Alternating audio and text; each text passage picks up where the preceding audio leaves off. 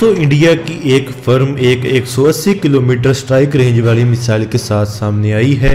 Make in India को एक बड़ा बूस्ट देते हुए एक इंडियन फर्म जेएसआर डायनेमिक्स ने एक Indians 180 kilometre strike range air to ground missile Khagan तक ऑन गोइंग डिफेंस एक्सपो 2020 में पेश की है। एएनआई से बात करते हुए जेएसआर डायनेमिक्स के managing director air marshal S B Deo ने कहा कि खगन तक मिसाइल एक गाइड वेपन है, एक एक्सीलेंट एरोडायनेमिक परफॉर्मेंस के साथ इसके फ्रंट पर एक सीकर लगा हुआ है, जिसमें आर्टिफिशियल इंटेलिजेंस लगाई गई है टारगेट्स का पता लगाने के लिए। ये मिसाइल एक एयर लॉन्च्ड वेपन है, जिसकी रेंज 180 किलोमीटर है। उनका कहना है कि पहले हमें ऐसे इक्विपमेंट बाहर की कंपनियों से खरीदने पड़ते थे, लेकिन देश को अपने खुद के एक इंडियनस डिफेंस साइटर की ज़रूरत थी। गवर्नमेंट को इसकी रियलाइजेशन हुई। उन्हें यह एहसास हुआ कि अगर इंडियन कंपनीज़ इन इक्विपमेंट को बनाएँ तो हम इन इक्विपमेंट को कभी भी ज़रूरत के अनुसार बना सकते हैं। उनका कहना था कि इंडिया के अंदर एक प्रोसीजन वेपन्स का बहुत बड़ा मार्केट है और बाहर की कुछ कंट्रीज़ इंडिया को ये वेपन्स ऑफ़र तो कर रही हैं, लेकिन वो सिर्फ़ पॉलिटिकल कंपल्शन के तौर पर ऑफ़र कर रही हैं।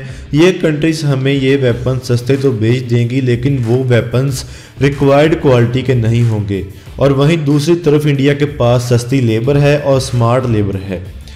इंडियंस को सॉफ्टवेयर नेचुरली आता है, लेकिन सिर्फ़ इंजीनियरिंग ही थी जिसमें हम पीछे चल रहे थे। लेकिन हम अपनी इन रिसोर्स को साथ मिलाकर हम ग्लोबली कम्पीट कर सकते हैं। इसके साथ ही उन्होंने कहा कि अगर Indian made jet engines available होते हैं तो वो इन इंजन्स को अपनी मिसाइल्स में इस्तेमाल कर पाएँगे।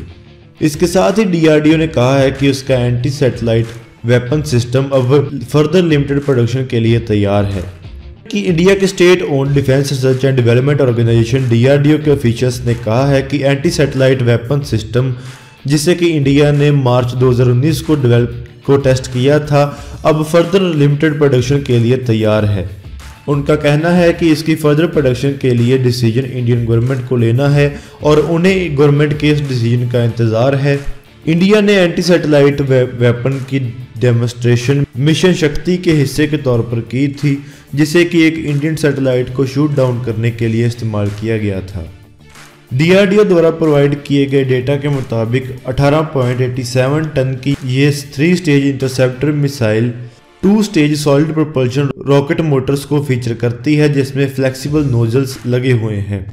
इसका एक स्केल्ड मॉडल डिफेंस एक्सपो 2020 में दिखाया गया था। इस मिसाइल की पहली स्टेज जो कि 13.164 मीटर लंबी है और 1.4 मीटर डायमीटर में है इस मिसाइल को एक डेजिग्नेटेड एल्टीट्यूड पर ले जाती है। ये स्टेज 74.8 सेकंड्स तक जलती है।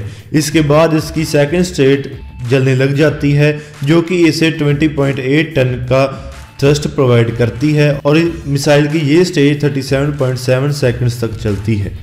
इसके साथ ही ये खबर आई है कि इंडिया एक 200 किलोमीटर रेंज वाली टैक्टिकल बलिस्टिक मिसाइल भी डेवलप कर रहा है।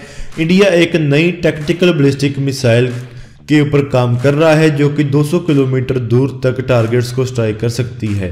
दो टॉप गवर्नमेंट ऑफिशियल्स ने थर्सडे को ये जानकारी दी। ये सरफेस टू सरफेस मिसाइल जिसे कि defence research and development organisation DRDO develop कर रहा है, इसका नाम प्रनाश रखा गया है। डिफेंस एक्सपो 2020 पर हिंदुस्तान टाइम्स को डीआरडीओ के ऑफिशियल्स ने इसके बारे जानकारी दी। उनका कहना है कि इस नए वेपन्स के ओरिजिन प्रहार मिसाइल सिस्टम के ऊपर बेस्ड हैं, जो कि डीआरडीओ ने डेवलप की थी। प्रहार की मैक्सिमम रेंज 150 किलोमीटर थी, लेकिन आर्मी को इससे ज़्यादा लंबी रेंज वाली मिसाइल सिस्टम की ज़रूरत थी, जिसके कारण प्रनाश मिसाइल को डेवलप किया गया है। प्रनाश मिसाइल की कन्फिग्रेशन को फ्रीज कर दिया गया है और उसके डेवलपमेंटल ट्रायल्स 2021 के एंड तक शुरू हो जाएँगे। इसके अगले दो सालों में हम इस मिसाइल को आर्मी को यूज़र ट्रायल्स के लिए पेश कर देंगे। आर्मी को 200 किलोमीटर रेंज वाली मिसाइल की ज़रूरत है। नॉन न्यूक्लियर प्रनाश मिसाइल को एक single stage solid propellant engine propel करेगा। डीआरडीओ की short range Prithvi series missiles 150 से लेकर 350 किलोमीटर तक की रेंज वाली हैं और ये सभी मिसाइल्स न्यूक्लियर केपेबल हैं। और ये मिसाइल्स एक लिक्विड प्रोपेलेंट इंजन के साथ पावर्ड हैं, लेकिन लिक्विड इंजन की एक कुछ लिमिटेशंस होती हैं। सॉलिड प्रोपेलेंट वाली मिसाइल्स रेडी टू यूज़ होती हैं, लेकिन लिक्विड प्रोपेलेंट इंजन कॉम्प्लिकेटेड होते हैं और लिक्विड प्रोपेलेंट मिक्सचर को इन मिसाइल्स में लॉन्च लॉन्च से पहले डालना पड़ता है। इसके साथ ही डीआरडी को कहना है कि डेवलप हो जाने के बाद प्रनाश मिसाइल को फ्रेंडली फॉरेन कंट्रीज़ को एक्सपोर्ट भी किया जा सकेगा और ये अपनी रेंज कैटेगरी में दुनिया की सबसे सस्ती मिसाइल होगी। और ये missile technology control regime treaty को भी वायलेट नहीं करेगी क्योंकि उस ट्रिटी में 300 किलोमीटर से ज़्यादा की मिसाइल्स का एक्सपोर्ट वर्जित है, लेकिन ये मिसाइल 200 किलोमीटर रेंज वाली मिसाइल होने के कारण इसे बेचा जा सकेगा। तो दोस्तों, इसके साथ ही डिफेंस एक्सपो पर एक और एंटी टैक गाइडेड मिसाइल को भी दिखाया गया था जिसे कि बीडीएल ने डेवलप किया है। इस मिसाइल का नाम अमोघ थ्री मिसाइल है।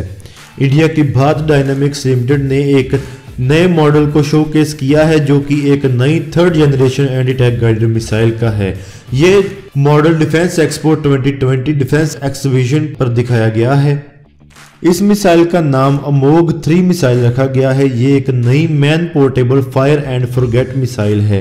इसमें एक कन्वेंशनल सिलेंड्रिकल बॉडी है, जिसमें आठ मिड बॉडी फोल्डेबल फिंस लगे हुए हैं और उसमें चार रिलेटिवली बड़े एफ्ट फिंस लगे हुए हैं फ़्लाइट स्टेबलाइजेशन के लिए। अगर कंपैरेटिवली बात करें तो उमोग थ्री में एक बहुत ही सिंपल कॉन्फ़िगरेशन है, जिसमें बीडीएल द्वारा डेवलप किए गए smokeless signature free dual thrust solid rocket motor को लगाया गया है, जिसमें थ्रस्ट वेक्टर कंट्रोल और एक dual mode infrared imaging infrared और इलेक्ट्रो ऑप्टिकल सीकर असेंबली लगी हुई है टर्मिनल होमिंग के लिए। ये missile lock on before launch mode में फायर की जाती है और ये अपने टारगेट्स को टॉप या डायरेक्ट अटैक मोड में टारगेट कर सकती है। Amogh three anti tank guided missile में एक एंटी आर्मर टैंडम वारहेड लगा होता है, जो कि 650 millimetre beyond explosive reactive armour को पेनिट्रेट कर सकती है, यानी कि ये 650 मिलीमीटर चौड़े आर्मर को भी भेज सकती है। इसके वॉरहेड की वेट क्लास को अभी बताया नहीं गया है। अमोग थ्री को डिफेंस एक्सपो पर दिखाया गया है।